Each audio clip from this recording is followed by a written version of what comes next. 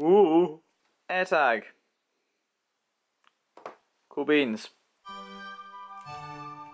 Shee. Yes, mate.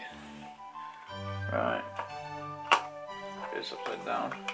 Little tab there. So, we have paperwork. And then we have. Oh, would you look at that? Instructions.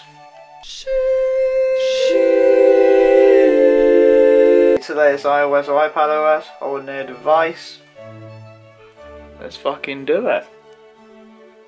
I thought it'd be smaller. To be fair, I made it a point not to buy just a fake version of the Apple one. Fuck's sake, I keep on wanting to go down here. Right, even though it's big, I, I still think it's like, it looks similar enough to the real thing. It just pops off, I think. No.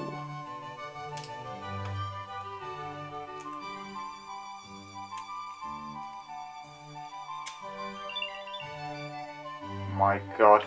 Look at how clean that is. That's sick.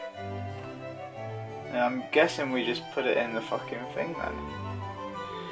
If that's how the actual Apple ones are.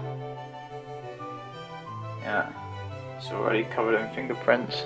So literally, we get my phone in view, sort of focus it,